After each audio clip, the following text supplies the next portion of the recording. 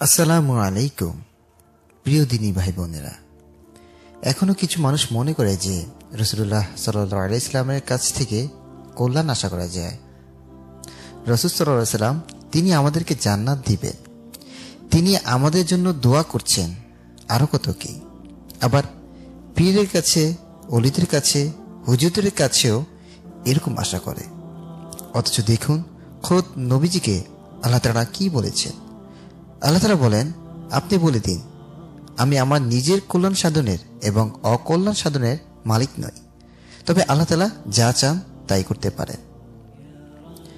সুরা জিনে আল্লাহ তালা তার নবীকে আরও বলছেন, আপনি তাদেরকে বলুন, নিশ্চয় আমি তোমাদেরকে কোনো অনিষ্ঠা অথবা ভালো করার মালিক নই।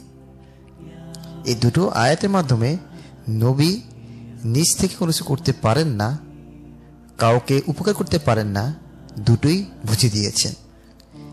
পীর সাহেবদের ক্ষমতা নিশ্চয়ই রসুসাল্লাহামের থেকে বেশি নয়। তাহলে কি করে তাদের কাছে মনের আশা পূরণের জন্য আমরা আবদার করছি? এটা কি কোনো সুস্থ মস্তিষ্ক চিন্তা করতে পারে? খোদ, পীর, হুজুর, অলি, তাদের জাহানাম থেকে মুক্তির নিশ্চয়তা কি রয়েছে?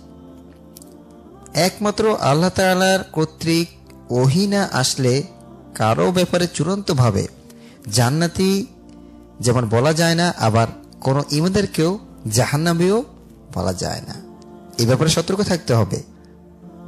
নবী করিম সাল্লাম তার অতি আদর কন্যা ফাতেমা রাহাকে বললেন, হে ফাতেমা, তুমি তোমার নিজেকে জাহান্নামের আগুন থেকে রক্ষা করো। কেননা আমি তোমাদেরকে কোনো উপকার করতে পারব না। তাহলে নিজের মেয়ে ব্যাপারে আল্লাহ রসুলাম বলছেন যে, জান্নাতের মালিক হচ্ছে আল্লাহ তালা আমি নই। তুমি বরং আল্লাহ তালার কাছে চাও। এখন আপনাদের মনে প্রশ্ন আসতে পারে যে, রসুল সাল্লাহ সাল্লাম এই পাপি উম্মতের জন্য সুপারিশ করবেন, সাফায়াত করবেন, আমাদেরকে জান্নাতে নিয়ে যাবেন, সেটার ব্যাখ্যা কি? আল্লাহ তালা কোরআনে সেটিও বলে দিয়েছেন, কে আছে তার আল্লাহর কাছে তারই অনুমতি ব্যতীত সুপারিশ করবে? মূলত সাফায়াত বা সুপারিশের ব্যাপারটি একান্তই আল্লাহ তালার মর্জির ব্যাপার। আল্লাহ তালার অনুমতি না পেলে কোনো হাফেজ, কোনো সিদ্দিক, কোনো নবী এমনকি আমাদের রসুল সাল্লাহ সাল্লামও পর্যন্ত সাফায়াত করতে পারবেন না। সেজন্য নবীজির সাফায়াত চাইলেও আল্লাহ তালার কাছেই চাইতে হবে। নবীজির কাছে নয়। হ্যাঁ তিনি যদি জীবিত থাকতেন, তাহলে আমরা আবদার করতে পারতাম। ই রাসুল্লাহ আল্লাহ তো আপনাকে সুপারিশ করার অনুমতি দিবেন। আমার জন্য তখন সুপারিশ করবেন।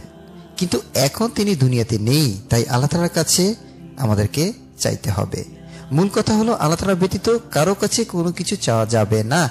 কারণ কোনো কিছু দেওয়ার মালিক একমাত্র হলো আল্লাহ সুবাহানু আল্লাহ আল্লাহ তালা তাই বলছেন, অতএব তোমরা আল্লাহর সাথে অন্য আর কাউকে ডেকো না। এটা যেমন অমুসলিমদের বলা হয়েছে, তেমনি ভাবে মুসলিম হয়েও আমরা যাতে শিরক না করি, সেক্ষেত্রেও বলা হচ্ছে। আল্লাহ তালা আমাদেরকে বুঝে মানার তাফিক দান করুক। আমিন।